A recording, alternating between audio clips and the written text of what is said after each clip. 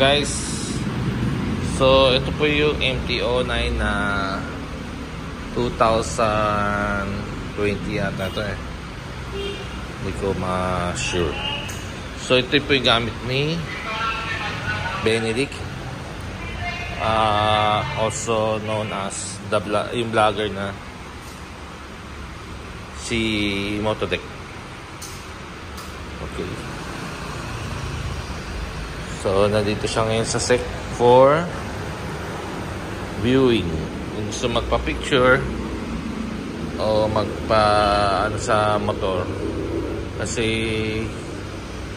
ano niya to eh yun. Meron siyang ginawang feature dito na ginawa niya sa customize niya. I think yung ko alam eh.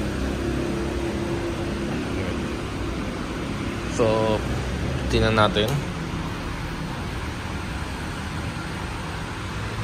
9158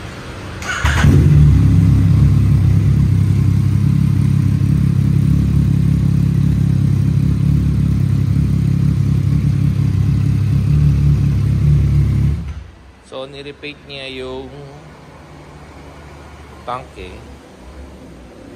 ng white.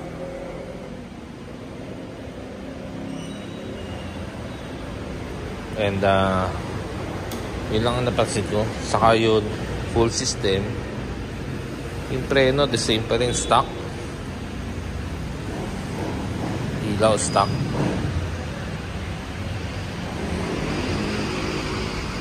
Okay. Thank you for watching.